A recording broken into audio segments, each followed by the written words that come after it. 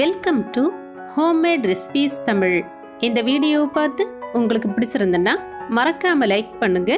நம்ம சேனலை first time பார்க்கக்கூடியவங்க கண்டிப்பாக சப்ஸ்கிரைப் பண்ணுங்க. முட்டை சாப்பிட பிடிக்காதவங்களுக்காக ஸ்பெஷலாக பண்ணின ஒரு டீ கடை கஜடா தான் இது. டீ கடை கஜடா ஆட்டுக்கால் கேக் முட்டைக்கோஸ் கேக் வெடி கேக் இப்படி சொல்லக்கூடிய இந்த டீ கேக் இன்னைக்கு நம்ம முட்டை சேர்க்காம பண்ண போகிறோம் முட்டை சேர்க்க போகிறது கிடையாது ரவை சேர்க்க போகிறது கிடையாது ஃபுட் கலரும் சேர்க்க போகிறது கிடையாது. இந்த மூணு பொருள் இல்லாமலேயே இவ்வளோ பெர்ஃபெக்டான ஒரு டீ கேக் நான் பண்ணியிருக்கேன்னா இதில் நான் சேர்த்துருக்கக்கூடிய சீக்ரெட் இன்க்ரீடியன்ஸ் என்னன்னு வீடியோவை ஸ்கிப் பண்ணாமல் பார்த்தா தானே தெரியும். முட்டை சேர்க்காம கூட வெளிப்பகுதி நல்ல கிறிஸ்பியாகவும் உள்பகுதி நல்ல ஸ்பாஞ்சியாகவும் இருக்கக்கூடிய இந்த சூப்பரான டீ கேக் ரெசிபி எப்படி செய்கிறதுன்னு பார்க்கலாம் வாங்க. அதுக்கு முன்னாடி நீங்கள் ஃபஸ்ட்டு டைம் என்னோட சேனலை பார்க்குறீங்கன்னா மறக்காமல் சப்ஸ்கிரைப் பண்ணிக்கோங்க. இன்றைக்கி இந்த கஜடா கேக் வந்து நம்ம கப் அளவில் தான் எல்லா மெஷர்மெண்ட்டும் எடுக்க போகிறோம் ஃபஸ்ட்டு இந்த கேக் ரெடி பண்ணுறதுக்கு ஒரு மிக்ஸி ஜார் எடுத்து இதில் ஒரு கப் அளவுக்கு சீனி சேர்க்கலாம். இந்த சீனி கூட அஞ்சு ஏலக்காவும் சேர்த்து நல்ல நைஸாக நம்ம பொடிச்செடுக்க போகிறோம் ரெண்டு கப் மைதா மாவுக்கு தான் இன்றைக்கி நம்ம கேக் செய்ய போகிறோம் ரெண்டு கப் மைதா மாவுக்கு ஒரு கப் சீனி கரெக்டாக இருக்கும். ஒரு கப் மைதா மாவு எடுத்தீங்கன்னா அரை கப் சீனி கரெக்டாக இருக்கும். இப்போ இந்த சீனியை நம்ம நல்லா நைஸாக பொடிச்செடுத்தாச்சு இனி இந்த சீனியை ஒரு பவுலில் சேர்க்கலாம். அதாவது நம்ம எந்த பாத்திரத்தில் கேக்குக்கு மாவு மிக்ஸ் பண்ண போகிறோமோ அந்த பாத்திரத்தில் சீனியை சேர்த்தா போதும். இனி இந்த சீனி கூட அரை கப் அளவுக்கு பால் சேர்க்கலாம். பால் சேர்க்கலாம்னு சொன்ன உடனே இது காய்ச்சின பாலா? காய்ச்சாத பாலான்னு கேட்பீங்க இது காய்ச்சாத பால் தான் நல்ல கெட்டியான பாக்கெட் பால் தான் எடுத்திருக்கேன். நீங்கள் பசும்பால் கூட யூஸ் பண்ணலாம். ஒன்றும் பிரச்சனை இல்லை. இனி இந்த பால் சேர்த்ததுக்கு அப்புறமா அடுத்ததாக நம்ம சேர்க்க போகிறது கால் கப் அளவுக்கு சன்ஃப்ளவர் ஆயில் தான். சன்ஃப்ளவர் ஆயிலுக்கு பதிலாக பாம் ஆயில் யூஸ் பண்ணலாம். ஆனால் தேங்காய் எண்ணெய் யூஸ் பண்ணக்கூடாது. இனி இந்த எண்ணெயும் சேர்த்ததுக்கு அப்புறமா ஒரு சிட்டிகை அளவுக்கு உப்பும் சேர்த்து ஒரு சிட்டிகை அளவுக்கு சமையல் சோடாவும் சேர்க்கலாம். இப்படி ஸ்பூனால் எடுத்தீங்கன்னா ஒரு கால் டீஸ்பூன் போல் சேர்த்தா போதும். இனி ஒரு விஸ்காலேயோ ஒரு கரண்டியாலேயோ இந்த சீனியை நல்லா கலக்கி விடலாம். ஒரு அஞ்சு பத்து நிமிஷத்துக்கு நம்ம இப்படி நல்லா பீட் பண்ணி விட்டாதான் இந்த சீனி நல்லா கரையும். நம்ம சேர்த்த எண்ணெய் பால் சீனி எல்லாமே ஒன்றா சேர்ந்து நல்லா மிக்ஸ் ஆகணும்.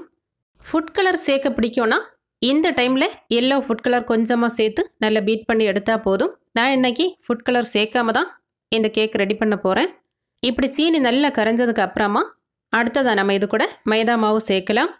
ரெண்டு கப் மாவில் தான் இந்த கேக் ரெடி பண்ண போகிறோம் ஆனால் இந்த ரெண்டு கப் மாவையும் மொத்தமாக கொட்டாமல் ஃபஸ்ட்டு ஒரு கப் அளவுக்கு மாவு சேர்த்து நல்லா மிக்ஸ் பண்ணி விட்டதுக்கு அப்புறமா தான் அடுத்ததாக ஒரு கப் மாவு நம்ம சேர்க்க போகிறோம் எப்போவுமே இந்த கேக் ரெடி பண்ணும்போது மாவு மொத்தமாக ஒரே அடியாக கொட்டாமல் இப்படி கொஞ்சம் கொஞ்சமாக சேர்த்து தான் மிக்ஸ் பண்ணி எடுக்கணும்.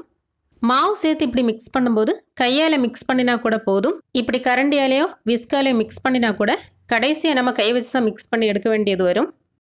இப்போ ஒரு கப் மாவு சேர்த்து நல்லா மிக்ஸ் பண்ணி விட்டாச்சு. இனி அடுத்ததாக திரும்பவும் ஒரு கப் மாவு சேர்த்து நல்லா மிக்ஸ் பண்ணி எடுக்கலாம். அடுத்ததாக ரெண்டாவது கப் மாவையும் சேர்த்து நல்லா மிக்ஸ் பண்ணி எடுக்கலாம். ரெண்டு கப் மாவு எடுக்கும்போது இது போல் கொஞ்சம் கொஞ்சமாக விட்டு மிக்ஸ் பண்ணி எடுத்தால் போதும். நம்ம இந்த கேக் செய்யும்போது நல்ல கிறிஸ்பியாக வாரதுக்கும் நல்ல ஒரு டேஸ்ட் கொடுக்கறதுக்கும் வேண்டி தான் முட்டை சேர்ப்போம். ஆனால் இந்த மாவில் நம்ம ஒரு முட்டை கூட சேர்க்காம தான் ரெடி பண்ணிகிட்டு இருக்கோம். இப்போ இந்த மைதா மாவை நல்லா மிக்ஸ் பண்ணி விட்டதுக்கப்புறமா கடைசியாக நம்ம இதில் ஒரு பொருள் சேர்க்க போகிறோம் அது என்னதுன்னா வறுத்த பச்சரிசி மாவு தான். இந்த பச்சரிசி மாவு நாம் ஒரு டேபிள் ஸ்பூன் அளவுக்கு கடைசியாக சேர்க்க போகிறோம் இந்த பச்சரிசி மாவு சேர்த்ததுக்கப்புறமா இனி கையால் மிக்ஸ் பண்ணி எடுக்கலாம். நம்ம முட்டைக்கு பதிலாக இதில் சேர்த்துருக்கக்கூடிய ஒரே ஒரு பொருள் என்னதுன்னா வறுத்த பச்சரிசி மாவு தான். முட்டை சேர்க்கும்போது கிடைக்கக்கூடிய அதே கிறிஸ்பினஸை இந்த பச்சரிசி மாவு நமக்கு கொடுக்கும். நம்ம இந்த கேக் மாவில் மிக்ஸ் பண்ணி இருக்கக்கூடிய அரை கப் பாலும் இந்த ஒரு டேபிள் ஸ்பூன் பச்சரிசி மாவும் தான். இந்த கேக் நல்ல கிறிஸ்பியாகவும் நல்ல சாஃப்டாகவும் வாரதுக்கு மெயினான காரணம் முட்டைக்கு பதிலாக இந்த ரெண்டு பொருளுமே போதுமானதாக இருக்கும். இப்போ இந்த மாவை கையால் நல்லா மிக்ஸ் பண்ணி எடுத்தாச்சு. இனி இந்த பவுலை மூடி போட்டு இந்த மாவை குறைஞ்சது ரெண்டு மணி நேரத்துலேருந்து அதிகபட்சமாக நாலு மணி நேரம் வரைக்கும் புளிக்க வைக்கலாம். இந்த மாவு எந்த அளவுக்கு புளிச்சு வருதோ அந்த அளவுக்கு கேக்கும் நல்ல சாஃப்டாக இருக்கும். ஆனால் குறைஞ்சது ரெண்டு மணி நேரமாவது வைக்கணும். இப்படி ரெண்டு மணி நேரம் இந்த மாவு நல்லா புளிக்க விட்டதுக்கு அப்புறமா எடுத்து நம்ம கேக் ரெடி பண்ண போகிறோம் புளிக்க விடுறதுனா மாவு புளிப்பாக இருக்கிறது இல்லை. மாவு ஒரு ரெண்டு மணி நேரம் ஊற விட்டால் போதும். ஃபர்ஸ்ட் இந்த மாவு நல்ல லூஸாக இருந்தது. இப்போ ரெண்டு மணி நேரம் கழித்து எடுத்து பார்க்கும்போது இந்த மாவு கொஞ்சம் திக்காக இருக்கும். இப்படி தான் இருக்கணும். இப்போது எக்லெஸ் டீ கடை கஜடா செய்கிறதுக்கான மாவு ரெடி பண்ணிட்டோம். அடுத்ததை நம்ம இந்த கஜடாவை பொரிச்செடுக்க போகிறோம் நம்ம இந்த கேக் பொரிச்செடுக்கும் போது ஒரு சின்ன பவுலில் கொஞ்சமாக பச்சை தண்ணியும் எடுத்து வைக்கணும். இது எதுக்குன்னா ஒவ்வொரு தடவையும் நம்ம இந்த மாவை எடுக்கும்போது கையில் தண்ணி நினச்சிட்டு தான் இந்த மாவை நம்ம சின்ன சின்ன உருண்டையாக்கி எண்ணெயில் போட்டு பொரிச்செடுக்க போகிறோம் இப்படி கையில் தண்ணி நினச்சிட்டு இந்த மாவை எடுத்தால் தான் நம்ம கையில் ஒட்டி பிடிக்காமல் மாவு உருண்டை பிடிக்கிறதுக்கு நல்லா வரும். அதுக்கு வேண்டி மட்டும்தான் லைட்டாக கையில் தண்ணி தொட்டுட்டு இப்படி உருண்டை பிடிச்சிங்கன்னா கையில் கொஞ்சம் கூட ஒட்டாமல் நல்லா வரும். எண்ணெய் யூஸ் பண்ண வேண்டாம். இப்படி தண்ணி யூஸ் பண்ணால் போதும். இன்னொரு பக்கம் இந்த கேக் செய்கிறதுக்கான எண்ணெயை மிதமான தீயில் வச்சு சூடு பண்ணிகிட்ருக்கேன் இருக்கேன். இந்த தீ வந்து மீடியம் ஃப்ளேமில் தான் இருக்கணும். ஹை ஃப்ளேம்லேயும் வைக்கக்கூடாது ஸ்லோ ஃப்ளேம்லேயும் வைக்கக்கூடாது. இந்த கேக் பொரிக்கும் போது நல்ல பொறுமை வேணும். பொறுமையாக பொரிச்செடுத்தா தான் இந்த கேக் வந்து நல்ல வெந்து கிடைக்கும். இப்போ எண்ணெய் சூடாயாசன் பார்க்குறதுக்கு வேண்டி சின்னதாக ஒரு மாவை உருட்டி எண்ணெயில் போட்டு எடுத்தாச்சு இனி அடுத்ததாக நம்ம கேக் பொரிச்செடுக்கலாம். உள்ளங்கையில் இந்த மாதிரி லைட்டாக தண்ணி தொட்டு இந்த மாவை மீடியம் சைஸில் சின்ன சின்ன உருண்டையாகி எண்ணெயில் போட்டு பொரிச்செடுக்கலாம் ரொம்ப பெரிய உருண்டையை போட்டிங்கன்னா இந்த கேக் வெந்து வரும்போது டபுள் சைஸாக இருக்கும். இந்த கடாயில் நல்லா வெந்து வாரதுக்கு இடம் இருக்காது. அதனால் மீடியம் சைஸில் இந்த மாதிரி உருண்டை செய்து போட்டிங்கன்னா ஒரே அடியாக நமக்கு ஒரு அஞ்சாறு கேக்கு பொரிச்செடுக்க முடியும். இந்த கேக் மாவை நம்ம உருண்டை பிடிக்கும்போது தெரியும் இந்த மாவு எந்த அளவுக்கு திக்காக இருக்குன்னு. நம்ம மிக்ஸ் பண்ணும்போது மாவு கொஞ்சம் லூஸாக இருந்தது. திரும்ப ரெண்டு மணி நேரம் கழித்து எடுத்து பார்க்கும்போது இந்த அளவுக்கு திக்காக இருக்கும். இந்த மாவை நம்ம எண்ணெயில் போடும்போது நல்லபடியாக உள்பக்கமெல்லாம் வெந்து கிடைக்கணும்னா இந்த எண்ணெய் வந்து மிதமான சூட்டில் இருந்தால் தான் நல்ல பொறுமையாக உள்பக்கமெல்லாம் வெந்து கிடைக்கும். இந்த கேக் வந்து கொஞ்சம் கொஞ்சமாக வெந்து வர தொடங்கினதுமே ஒவ்வொரு பக்கமும் வெடிக்க ஆரம்பிக்கும். இப்படி வெடித்து வரும்போது தான் உள் பக்கமெல்லாம் நல்லா வெந்து கிடைக்கும்.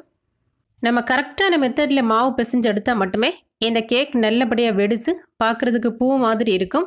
எல்லா சைடும் இப்படி வெடித்து வரும்போது பார்க்குறதுக்கு பாப்கார்ன் மாதிரி இருக்கும்.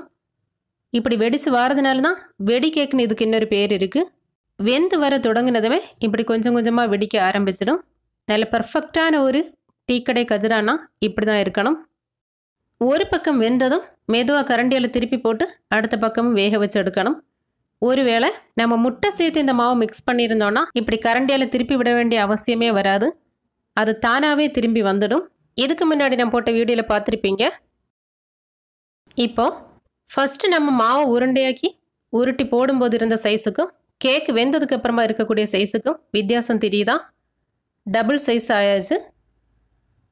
அதனால் நம்ம எண்ணெயில் மாவு உருட்டி போடும்போது மீடியம் சைஸ் உருண்டையாக உருட்டி போட்டால் தான் நம்ம கடாயில் பொரிச்செடுக்கும்போது எல்லா கேக்கும் ஒரே மாதிரியே வெந்து கிடைக்கிறதுக்கு இடம் இருக்கும்.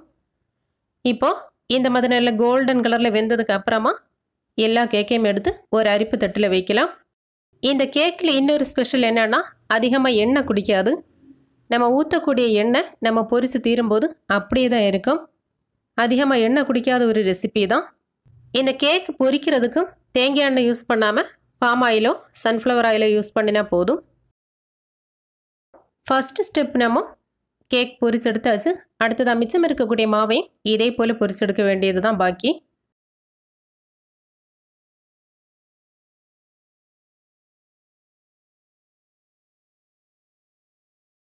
அவ்வளோதான் இப்போ ரெண்டாவது ஸ்டெப் கேக்கும். பொரிச்செடுத்தாச்சு எல்லா மாவும் காலி.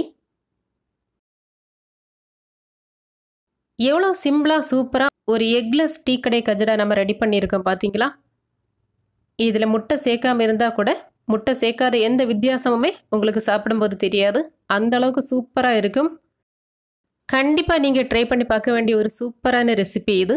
ட்ரை பண்ணி பார்த்துட்டு உங்களோட கருத்துக்களை மறக்காமல் கமெண்ட் பண்ணணும். ஒரு முட்டை கூட சேர்க்காம இந்த கேக் இந்த மாதிரி பாப்கார்ன் மாதிரி வெடித்து வந்திருக்குன்னா நம்ம எந்த அளவுக்கு பெர்ஃபெக்டாக ரெடி பண்ணியிருக்கோம்னு உங்களுக்கு புரிஞ்சிருக்கும். வெளியே நல்ல கிறிஸ்பியாகவும் உள் பக்கம் நல்ல சாஃப்டாகவும் இருக்கும். இந்த கேக் இதே போல் எல்லா பக்கமும் வெடித்து வந்தால் தான் உள் பக்கம் நல்ல வெந்திருக்கும். ஒருவேளை இப்படி வெடிக்காமல் உருண்டையாக இருந்ததுன்னா அந்த கேக் நல்ல பர்ஃபெக்டாக வரவே இல்லை உள் பக்கம் வேகவே இல்லைன்னு அர்த்தம். நான் இந்த கேக்கு கையில் வைக்கும்போது அந்த அளவுக்கு சூடாக இருக்குது இனி முட்டை சாப்பிட பிடிக்காதவங்களுக்கு இருக்கவே இருக்கு. எக்லெஸ் டீ கடை கஜடா. முட்டை சேர்த்து ஒரு டீ கடை கஜடா. முட்டை சேர்க்காம ஒரு டீ கடை கஜடா. ரெண்டு ரெசிபி நம்ம பார்த்தாச்சு. இந்த ரெண்டு விதமான ரெசிபி உங்களுக்கு பிடிச்சிருக்கும்னு நான் நினைக்கிறேன். வீடியோ பிடிச்சிருந்தா மறக்காம லைக் பண்ணிட்டு உங்க ஃப்ரெண்ட்ஸ் அண்ட் ஃபேமிலிக்கும் கண்டிப்பாக ஷேர் பண்ணுங்க. இந்த வருஷம் தீபாவளிக்கு இந்த எக்லெஸ் டீ கடை கஜடாவை ட்ரை பண்ணி பாருங்கள் மீண்டும் அடுத்த ரெசிபியில் சந்திக்கலாம். தேங்க்யூ